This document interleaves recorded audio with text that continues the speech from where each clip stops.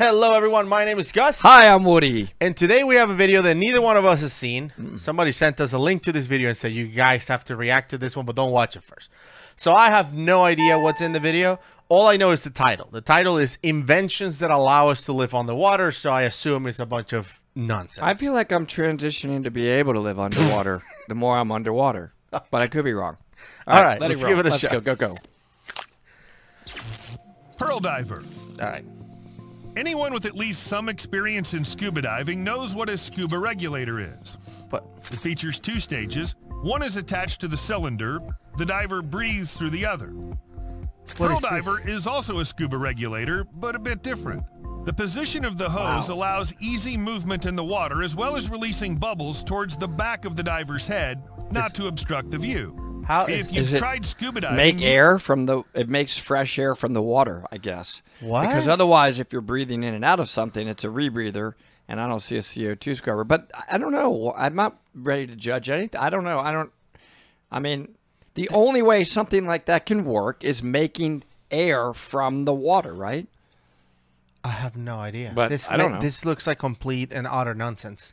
Like this no video idea. has to be like an April Fool's joke. Like this is, and we're we're just thirty seconds in, and this makes no sense. Already. Would you try that device? Absolutely not. I would immediately in a pool. So if they want to send me one to swim around in a pool and breathe, No, it doesn't I'm even have a brand on the Photoshop pictures. They All right, didn't but even if you bother. do to put have a brand brand and that device exists, I'm your guy. Because No, look, this could be a real issue. Pearl Diver also has a nice futuristic design and streamlined shape.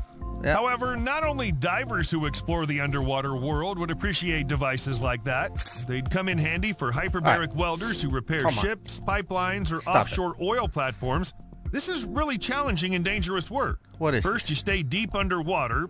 That is, there's always a risk of decompression sickness. Second, there's a risk of an electric shock for the welder.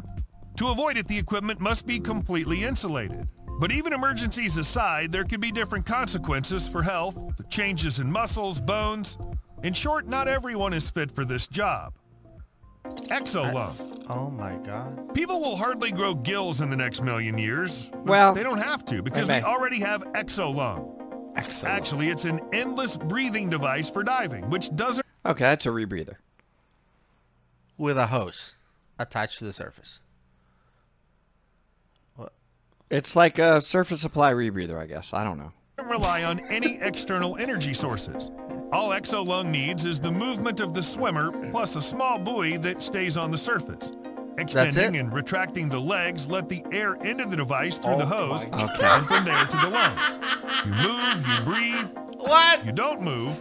Well, the hose is quite short, only 16 feet long, so the diver can resurface quickly. What could possibly yeah, go Exolung wrong? weighs only 7.7 pounds. That's it. Dive portable lungs. This is another device for those who want to dive without fiddling around with heavy, bulky scuba gear. Dive What? Portable Lungs is a diving The, this is for people who don't want heavy, big scuba gear and also want to die. kit that fits easily into a backpack and includes a pump with a cylinder. The cylinder, as you already Oh my realized, is filled with oxygen through a hand pump. Nope. The it's not. oxygen supply will be enough for about half an hour underwater. No, so that's long fine. Half an hour? option. No, you But- could pump it. That's Okay, no wait. problem that you could pump air into a scuba cylinder. But it's not oxygen. But the point is, Not oxygen. They always do that. The it's point air. is that that bottle was at most like six to nine cubic feet at most, and he said you can stay on the water for thirty minutes. I What? Send me one. I bet you I could stay underwater at 20 feet on that for 30 minutes. No way. Oh, bet. not even you. Okay. No. Here we go. No chance. Who wants to see Nope. me stay underwater with that size bottle Yeah. filled all the way up Uh-huh. at 20 feet, no deeper than 20? Okay. For, For 30, 30 minutes. minutes. No chance. no way. No chance. I will buy it. Remember the words he said. I'm just sitting here going, he said, no chance, no way. Yeah. Anything else? Any Abs- other things you want to put your foot in your mouth? Impossible. I think. Dive portable wait to try is it. more than enough for exploring some lake, the bottom of a river, or the sea near the coast. Most importantly, the cylinder can always be refilled. Just have to resurface hmm. and do a little pumping. I can't That's wait it. for my 30 minute portable dive lungs on would it. definitely come in handy for golf ball divers. On good golf courses, you can find reservoirs, including really deep ones, Send and me the one. balls periodically end up there. And once the balls get lost, they need to get them back. This is what golf ball divers do. They dive into the water and recover everything that ended up there.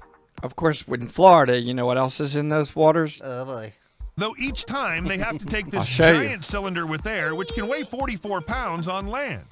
It'd be much easier to use a small kit, right? Waterproof pouch case. Remember, we have a bet. What? What? It's 30 minutes, no deeper than 20 feet. I don't have to move or anything. I just have to be able to breathe. What do I get? What's the prizes? Doesn't matter. You're not gonna do it. Mm-hmm. What do I get? Money? Let's. You want to put cash up or? It doesn't matter because you will not do it. Yeah, I'm just saying, cash would Oh be nice. I could use some. Okay. The We'll talk only thing that. missing to enable freediving at any time and in any place is a waterproof smartphone. Or at least a waterproof case Uh, so you can take devices and everything you need to almost any reasonable depth. Moreover, this particular case not only protects the smartphone from water, it allows you to use all its functions. Mm-hmm. Well, I mean, you probably won't be able to make a call from the seafloor, but taking photos is now easy. The material of the case has a nice feel to it and doesn't prevent the touchscreen There's a from bunch of those recognizing already touches. out. The only It's nothing new. downside is that Million Touch on ID. Facebook. Plus, the won't Water iPhone now is waterproof, isn't it? The Ocean 14? space habitat. Waterproof to a certain depth? Why not camp underwater? this thought prompted National Geographic researcher Michael Lombardi and New York University professor Winslow Burleson What? to Habitat. create Ocean Space Habitat. Yep. What looks Those like exist. a fun underwater tent is actually a portable life support system for divers. Yeah, that'd been. Imagine you have one. to spend a lot of time deep underwater. Sure. For example, to study a rare octopus. But diving with ordinary scuba gear is always inconvenient. Deeper dives Always? mean less time on the seafloor because the human body absorbs air faster when it submerges deeper. Keep in mind, you still need to safely resurface nitrogen, and not but too that's okay. The underwater tent addresses all these issues. Oh. Ocean Space Habitat allows you to save air and hide from potential underwater dangers in an emergency shelter. No problem. That Inside exists. the tent, several divers can get into the dry chamber at the same cool. time, Look take this. off their equipment, Completely talk, out. eat, and even sleep Really while the cool. tent slowly and safely rises to the surface. It also creates a dry and protected space to work underwater. Sort of like a Wait, so this habitat surfaces like ascend? It looks like they're raising it from actually the bottom, though. That's the only part That I don't understand. cool. But I don't understand. Like, it's tied off on the bottom on what? You just yank up the reef with you? I guess. That's the part I don't really get. Here comes the habitat and the reef. Yeah. No, I don't. I don't I understand the they mechanics, bolt but it's to the ocean floor or something. I, yeah, and it, hmm. it's like a, I don't know, like a, like a system, like a like pulley system, and you yeah. can just let it let it go up. Yeah. But you know, What could possibly go wrong? diver's office where you can process some samples, set how's up the your camera and current stuff deal like with that, when it blows it over? According over? to the official project website, there were even underwater tea parties in ocean space habitat. Well, why not? This tent works much like an air bubble. Such a bubble really helps Yeah. to survive underwater. In 2013, Harrison Okene spent three days 100 feet deep when his tugboat sank. we reacted. to Okene was a ship cook and wasn't striving to become a conqueror of the depths, but the ship he was on sank to the bottom 20 miles off the coast of Nigeria. Everything happened too quickly, and the rest of the crew died, and an air pocket formed in one of the rooms. Okene headed there, simply hoped he'd be rescued. And he was. The rescuers saved the poor guy. After that, scientists estimated that a person has about 56 hours in an air bubble like that before the carbon dioxide toxicity kicks in. But this is just when the first symptoms appear. It'll take about 79 hours for a person to pass out. Luckily, rescue came to Okene early. well, Depends on the most size of them of have, the Durafin, bubble. Durafin gloves. most of them have. Gro- Enough uh, about sad things. There those are exist. many more cool devices for Um, scuba we diving. use worth a look, those just so you know. We use those in classified diving to help people that may not have proper use of their of their legs. And Yeah. It's really really awesome that that exists, and they can you know use their hands as fins if they. And know. swimmers. Swimmers use it too. Hmm. yeah. Now they they put something between their legs so they don't kick, and then they have those even for extra drag to work on your muscles, hmm. on your you know arm Cool. muscles. Yeah, I've taught people that had those types of issues with those before. and They work great. gloves. Webbed gloves made from a live water, lightweight, non-absorbent material that provides a perfect grip on, well, pretty much anything you want to grab underwater. Surfers, divers, kayakers, and swimmers around the world love these gloves, and they increase hand surface by 70%. Perhaps even the Bajau people, the sea nomads, would appreciate these They're gloves. amazing. Bajau feel just as comfortable underwater as most people do on They do. land. They walk on the seabed. They're in full control over their breathing and body. They spear fish on the first try, at that all this without any modern scientific inventions, even without wetsuits and flippers. Imagine what the Bajau will be capable of if they get all the devices mentioned in this video. Murfin. While they'd hardly Stop. need Murfin, it's still a great option for those who want to feel like a mermaid. It's like a very light fin specially designed for smooth movement in the water. I love how The none of the manufacturer fin is shown. describes Murfin as a natural extension of the body. Do you notice the fin? Well, I didn't even see it. There it is, the fin. Oh, and okay. um, does that look like the single most inefficient mono fin you've ever seen? It's the worst. I mean, there is mono fins for like the mermaid training. You know, they wear that big thing and they have to get trained in it, and you can fly in that thing. I tried it in the pool. I mean, you are flying like, and you've crossed the whole pool. They use a monofin too on the um, free mm-hmm. diving distance records, where they go in mm. in like an Olympic pool and then they swim one way and the other. Dude, they do several laps in an Olympic pool underwater, mm. and they have a monofin that obviously looks nothing like this. I mean, that one.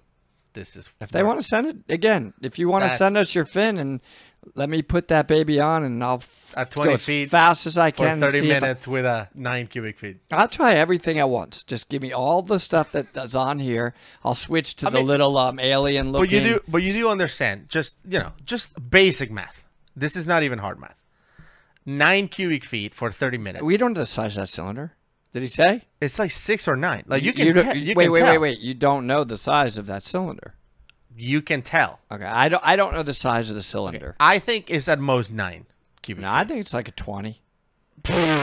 Stop. If it's twenty, No. If it's 20, then yeah, even I can stay 30 minutes. But the dude, problem you is, could say thirty seconds.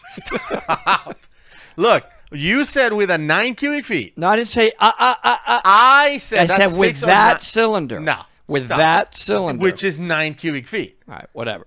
You can't stay for 30 minutes. Yeah, I already told you. With that twenty cubic foot cylinder, I can. body. In case you ever dreamed your body would have a fin, the fin's easily attached to the ankles with straps and can be easily removed if necessary. Subnado. Of course, a mermaid fin will not grant a swimmer incredible speed, but there are other devices for this purpose, Oh. like Subnado. Well, a we use compact those. underwater scooter. I've used those before, the little ones like that. yeah. Um, they're fine if you're doing like a little uh, small little dive, or you know, we certainly use them to find the um, Megalodon teeth. megalodon teeth. We actually turn it upside down so it blows the bottom, blows and then I, you know, zzz. problem is they're kind of depth limited and they don't go too fast. But it's kind of It's a, a toy. toy. Like we would never. We said the same thing. It's a toy. I mean, I just want to tell you, we would never use this as a technical diving Yeah. uh, device. It weighs only three pounds. One charge is enough for an hour of work, and the scooter can accelerate up to 4.6 God. feet per second, provided that the swimmer weighs less than 143 pounds. And if you use two devices at the same Well- time, the speed will increase to 6.5 feet this, per so second. useful. There are quite a few ways of attaching Subnado.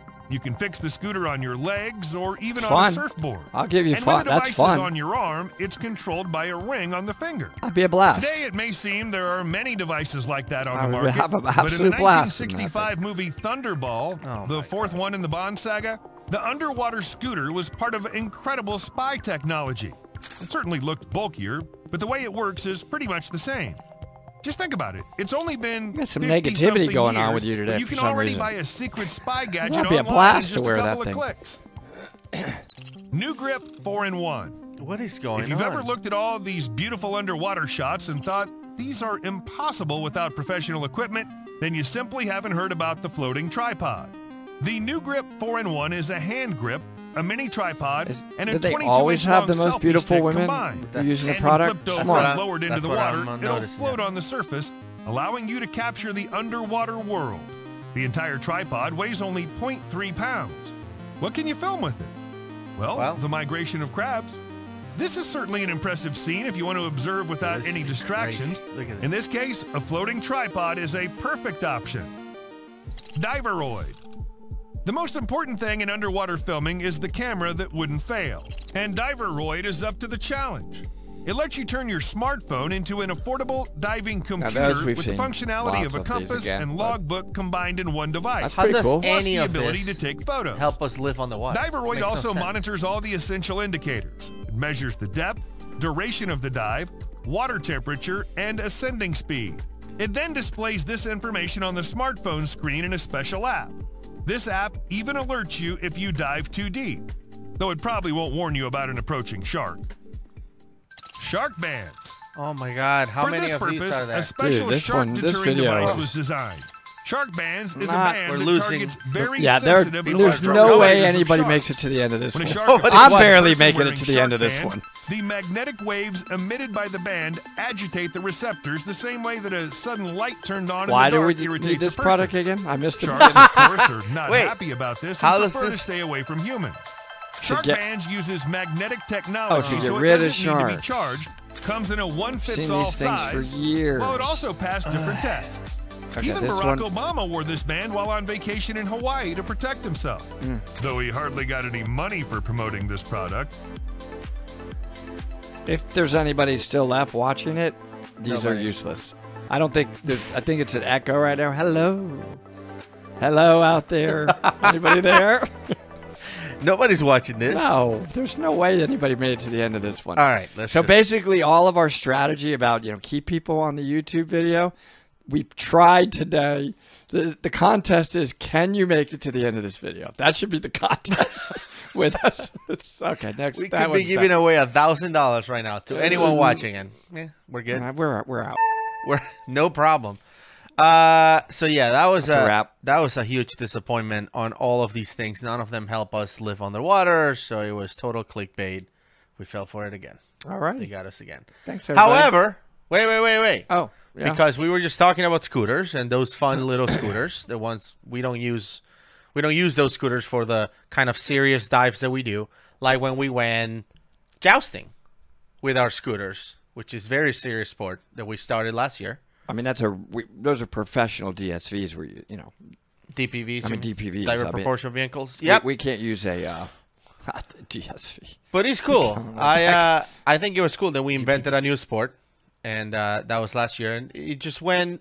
National Geographic We, did not we recognize it. participated in a sport that others invented and told us about, Well, and they're we made it mainstream. And the others that told us about it, the best part about it that makes me smile so much is they're avid, avid cave divers that followed, you know, Yeah. strict cave diving protocol. Yeah. Mm. And I love the people that ripped us up about it. And I'm like, well, look who told us about it. And do we want to do it again? in case you haven't seen us doing jousting inside a cave on DPVs, I'm gonna leave the video right here. When's Joust 2? We gotta make it. We gotta make it happen. See everybody.